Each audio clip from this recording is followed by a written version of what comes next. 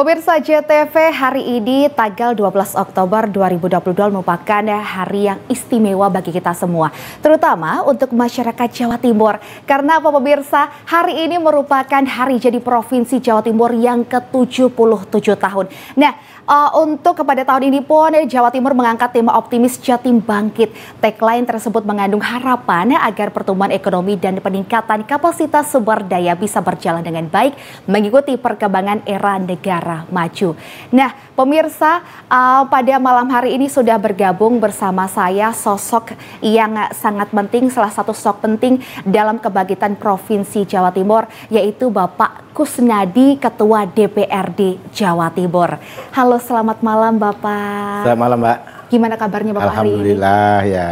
Iya, kegiatannya banyak ya Pak ya, dari pagi tadi sampai malam hari ini ya, masih ya. bisa ya, berkunjung. Memang itu, memang itu satu tuntutan bagi kami ya. Iya, Bapak. Bagi kita betul. semua ya. Ya, mari kita kerjakan, ya. kita lakoni. Iya. betul Bapak, sebelumnya ah, ya, ya. saya ingin mengucapkan selamat hari jadi Provinsi Jawa Timur Jawa yang ke-77 begitu ya Bapak ya. Terima Karena kasih. Pak Kusnadi selaku Ketua DPRD Provinsi ya. Jawa Timur yang juga mengawasi begitu ya Pak sebagai ya. pengawas dan juga memonitor bagaimana sih keadaan di Jawa Timur.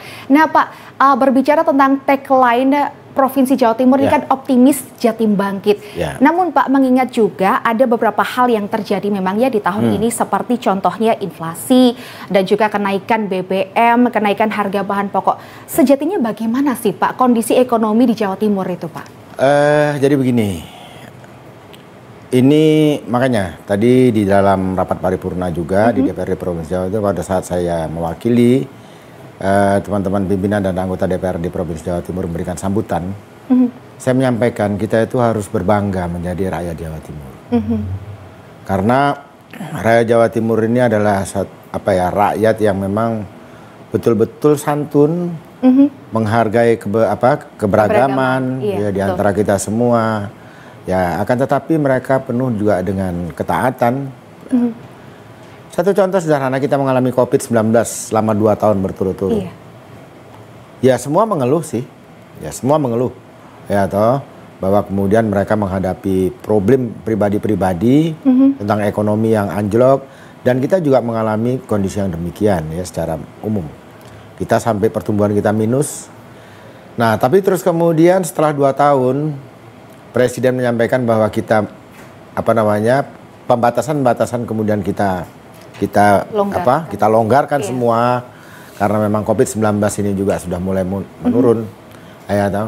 Nah, tiba-tiba masyarakat menggeliat begitu luar biasa. Mm -hmm. Menggeliat begitu luar biasa dan pertumbuhan ekonomi kita itu seperti meloncat. Pesat ya Bapak iya, ya seperti untuk meloncat. tahun ini, betul. Jadi artinya bahwa kemudian ini semua terjadi karena gerak masyarakat itu sendiri. Mm -hmm kita pemerintahan ini hanya hmm. memberikan fasilitasi yeah. dan kemudian memberikan rule kepada mereka-mereka untuk melakukan kegiatan hmm. itu. Jadi luar biasa masyarakat Jawa Timur ini.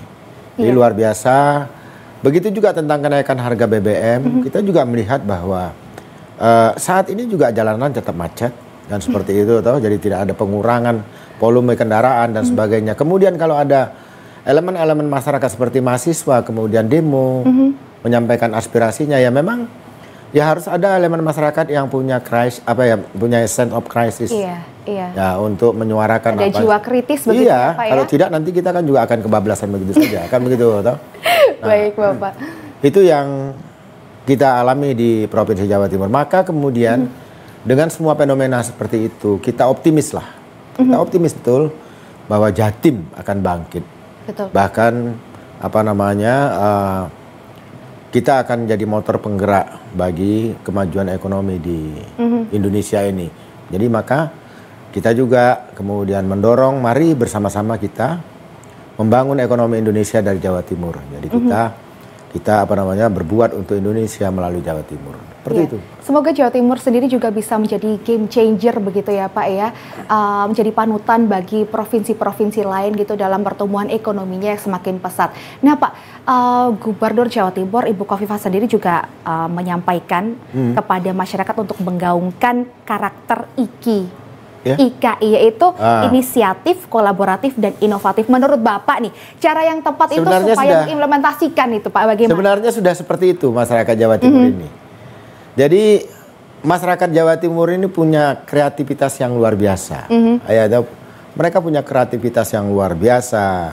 Sehingga kadang-kadang kita di pemerintahan ini juga merasa apa ya merasa ketinggalan. Ya karena kita gaptek kan gitu atau Nah, mereka punya inovasi yang luar biasa ya. Dan mereka menyadari betul bahwa tidak mungkin sesuatu itu bisa tumbuh kalau di- tidak dikerjakan secara Iya. bersama-sama. Maka kemudian kolaborasi, kolaborasi kan kerjasama antar sesama mereka, antar terus kemudian eh, pemerintah bersama-sama dengan mereka, mereka mengajak pemerintah daerah dalam hal ini untuk bekerja sama dengan mereka-mereka dalam mengembangkan apa yang inovasi-inovasi yang mereka mereka hasilkan. Ini ini menjadi sangat apa ya menjadi sangat ini sekali menjadi sangat intens sekali. Iya, ya menjadi sangat intens sekali. Dan kita pemerintah provinsi Jawa pemerintahan provinsi Jawa Timur itu membuka diri. Yang penting kan kita bahwa kemudian itu kita tidak selalu berada di ya seperti Tut Uri Handayani begitulah. Jadi seorang pemimpin itu ya jadi Tut Uri Handayani begitulah. Bagaimana yang dipimpinnya kan gitu. jadi tidak selalu bahwa seorang pemimpin harus di depan saja, tapi suatu saat pemimpin juga harus ada di tengah, bahkan juga kalau perlu harus ada di belakang untuk memberikan Betul. dorongan kepada masyarakat. Dan itu yang kami lakukan sebenarnya. Kami lakukan kalau kita melihat eh, apa fenomena-fenomena yang terjadi saat ini. Dan tadi Bu Kofifah itu pidatonya juga menurut saya gubernur tuh pidatonya hari ini sangat luar biasa. Artinya apa? Beliau menyampaikan bahwa apa yang kita nikmati sekarang itu bukan hanya kerja kami tapi kerja kita semua Saling bersinergi, saling, saling berkolaborasi bersinergi, saling begitu ya Pak ya? berkolaborasi antar semua stakeholder. Kita mengalami pertumbuhan eh, pangan yang surplus Mhm. itu bukan karena saya mencangkul, tetapi karena Masyarakatnya ya? petani yang Petani yang berkreatif, yang Iya, berkreasi. iya. yang turut memberikan Eh ya sumbangan sumbangan itu. Begitu juga kepada para peternak, Mhm. begitu juga kepada petani-petani yang lain dan begitu juga dengan pelaku-pelaku ekonomi. baik. Gitu. Baik pemirsa, masih banyak perbincangan menarik saya bersama Pak Kusnadi tentunya. Jangan ke mana-mana, tetaplah bersama kami di Pojok Pito.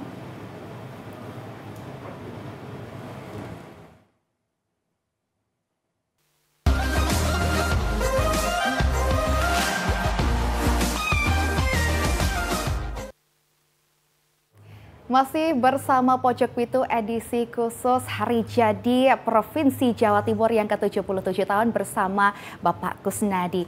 Baik Pak Kusnadi kita berbicara tentang ekonomi di Jawa Timur Ya. sendiri. Sudah banyak juga sinergi yang dilakukan oleh pemerintah Provinsi Jawa Timur dan juga dengan masyarakat. Nah apa saja sih Pak capaian-capaian yang selama ini sudah diraih nih selama Bapak menjabat sebagai eh, Ketua DPRD Jawa Timur nih Pak? Ya, kalau terus kemudian yang apa yang sudah kami raih, Mhm. yang ka- yang diraih kemudian oleh pemerintah provinsi Jawa Timur itu adalah penghargaan-penghargaan kan begitu atau sudah ratusan penghargaan dari pemerintah Wow. pusat maupun dari apa namanya dari lembaga-lembaga ah, nasional maupun internasional bahkan terhadap prestasi yang dilakukan oleh pemerintah Jawa Timur. Nah, tapi yang prinsip dasarnya adalah bahwa itu kami apa itu bisa tercapai Iya. bukan karena semata-mata kerja pemerintah saja, tapi kerja seluruh rakyat. Nah, Itu yang perlu kita. Bahkan juga satu contoh sederhana tentang bagaimana kita mampu mengendalikan COVID-19 itu dengan Iya. dengan sangat baik. Kenapa? Semua stakeholder itu bekerja bersama-sama. Contohnya, apa hubungannya misalnya ya, ini apa hubungannya eh, lembaga peradilan ya, melalui eh, pengadilan tinggi itu melakukan vaksinasi. Mhm. Nah, itu kan tidak ada hubungannya dengan tupoksi mereka. Tapi karena kesadaran yang Iya. begitu kuat pada mereka untuk bersama-sama mengendalikan COVID-19, Mhm. Betul. itu juga mereka lakukan secara bersama-sama. Bukan hanya lembaga peradilan, ter- yang kadang ya ini juga seperti apa ya bin daerah. Jadi badan eh, intelijen nasional daerah. Itu kan juga dia tidak punya tupoksi itu, tapi mereka bersama-sama. Bersama-sama melakukan apa melakukan uh, vaksinasi, melakukan pengendalian COVID-19 sehingga COVID-19 di Jawa Timur itu bisa juga terkendali dengan baik. Iya, betul nah, Pak. Memang dari itu. awal dari awal COVID-19 hingga sekarang sudah melandai angkanya, uh, kita juga bisa melihat bersama Loh, iya. bagaimana iya. uh, kolaborasi dan juga sinergi antara pemerintah Provinsi Jawa, Jawa Timur, Gubernur Ibu Kofifa, Pak Emil dan juga Pak Kusnadi iya. sama-sama turut membantu turut begitu ya, membantu ya Pak ya. Jadi seluruh lapisan masyarakat, mm -hmm. seluruh lapisan masyarakat itu turut serta dalam rangka untuk menyelesaikan suatu masalah mm-hmm. yang terjadi di Provinsi Jawa Timur. Jadi bukan hanya pemerintahnya saja, akan tapi juga rakyatnya juga ikut mm-hmm. bergotong royong menyelesaikan mm-hmm. masalah itu. Seperti terlihat juga Pak ada um, bantalan sosial yang turun juga yang mengucur banyak begitu ya? Iya banyak. Mm-hmm. Jadi ya kalau tentang persoalan-persoalan bantalan sosial itu ya situ sudah merupakan satu apa namanya yang uh, tindakan-tindakan pemerintah dalam menyelesaikan permasalahan-permasalahan mm-hmm. itu. Nah, dan itu merupakan satu keniscayaan menurut saya ya Tapi yang lebih penting lagi itu adalah bagaimana uh, kemauan masyarakat Jawa Timur itu untuk bergotong royong. Mm-hmm. Ya bergotong mm-hmm. royong mm-hmm. bersama-sama dengan pemerintahnya mm-hmm. untuk menyelesaikan masalah yang sedang yeah. dihadapi secara bersama-sama. Satu contoh sederhana lah. Bagaimana terus kemudian taatnya pemerintah apa namanya rakyat Jawa Timur ini. Mm-hmm pada saat COVID-19 itu begitu mengganas, kemudian pemerintah mem meminta kepada masyarakat kita ya di Jawa Timur ini. Jawa Timur adalah uh, provinsi religi religius. Yeah. Tapi terus kemudian pemerintah meminta agar COVID-19 ini tidak terus menyebar tak terkendali, maka diharapkan rakyat dan khususnya rakyat Jawa Timur saya sampaikan ini untuk tidak melakukan ibadahnya di rumah-rumah ibadah sebagaimana yang selalu mereka lakukan. Kan seperti itu. Lu mereka nurut tuh. Iya. Nggak protes, nggak ada apa-apa.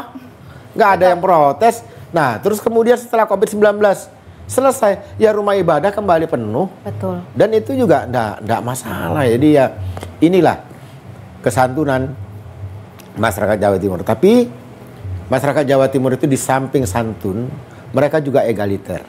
Mm -hmm. Kenapa saya katakan egaliter? Bahwa mereka masyarakat Jawa Timur itu adalah masyarakat yang punya ketegasan bahwa mereka ini tidak mau di apa namanya tidak mau di uh, ya ditekan lah tidak mau diapakan. Jangan lupa Hari Pahlawan itu di Jawa Timur. Hari Pahlawan itu di Surabaya loh. Betul. Bahwa Hari Pahlawan itu kita melihat bagaimana orang suatu bangsa coba untuk menguasai rakyat Jawa Timur dan semua rakyat Jawa Timur berontak sampai Malabi juga mati.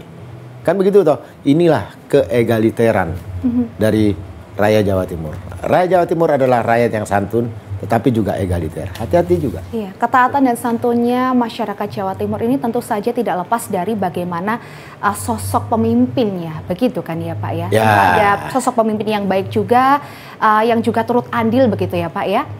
Ya itu pastilah, mm-hmm. ya itu kan sudah pasti apa namanya itu juga ber, berpengaruh ya berpengaruh kepada sebenarnya saat mereka itu menghadapi suatu permasalahan mereka merasa bahwa mereka itu terus kemudian diperhatikan oleh pemimpinnya saja itu semangat mereka itu sudah apa namanya sudah bergerak luar iya, biasa iya. ya mereka diberi harapan diberi hope ya untuk bersama-sama bisa menyelesaikan masalah itu itu juga sudah membangkitkan semangat mereka mm -hmm. dengan mhm. luar biasa. Mm -hmm. Seperti itu. Mm -hmm. Sisanya sudahlah kita serahkan.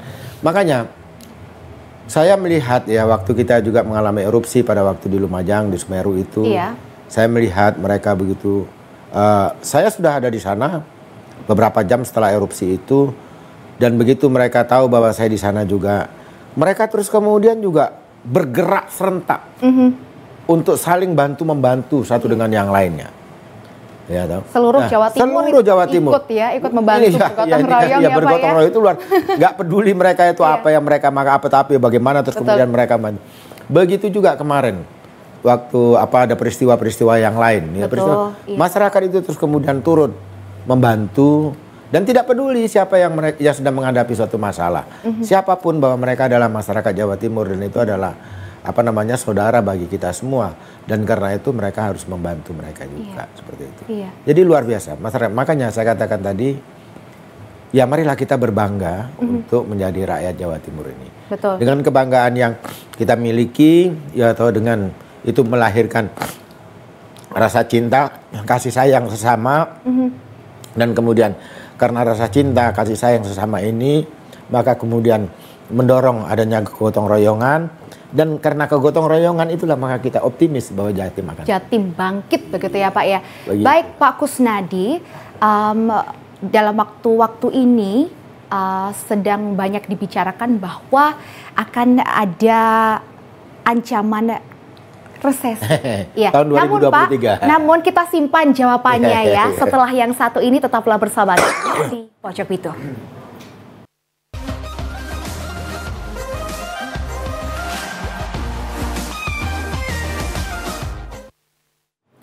Baik pemirsa, masih bersama saya di Pojok Pitu bersama Pak Kusnadi, Ketua DPR di Provinsi Jawa Timur. Seperti yang saya sebutkan tadi pemirsa bahwa digadang-gadang pada tahun 2023 akan ada um, krisis uh, resesi, yaitu krisis pangan, krisis energi, dan juga krisis keuangan. Nah Pak Kusnadi bagaimana upaya pemerintah nih Pak dalam menanggulangi dan juga meminimalisir begitu resiko ke depannya? Uh, seperti ini, jadi memang kondisi global ya, mhm. kondisi, mm-hmm. kondisi dunia dengan adanya perang Rusia Ukraina yang tidak selesai-selesai sekarang ini itu membawa mm-hmm. dampak juga bagi apa? Bagi uh, bahan bakar kan begitu toh. Karena kita tahu Rusia adalah uh, apa produsen bahan bakar yang yang apa yang dunia lah mm-hmm. seperti itu. Dan kemudian juga karena sanksi-sanksi uh, ekonomi yang diberikan kepada mereka, kemudian mm -hmm. mereka juga tidak bisa melakukan yeah. Iya. uh, produksi bahan bakarnya dengan baik maupun gas alamnya dengan baik kan begitu toh. Nah dan ini mempengaruhi pertumbuhan ekonomi di secara global. Iya, terutama di Jawa Timur juga Nah, apakah berimbas. kemudian itu juga akan berimbas? Pasti akan berimbas ke Jawa mm -hmm. Timur, ke Indonesia juga dan termasuk di Jawa Timur juga. Mm -hmm. Cuman kemudian apakah imbasnya akan menyebabkan Jawa Timur itu terus kemudian mengalami krisis pangan? Belum tentu loh. Oh begitu ya Pak? Ya, menurut saya itu belum tentu. Mengapa? Karena begini, kalau kita lihat sekarang saja ya. Dan kita melihat juga apa uh, pada Covid-19 kemarin. Pada Covid-19 kemarin itu bahwa kemudian kegiatan jasa dan apa perekonomian yang berhubungan dengan jasa itu menurun. Mm.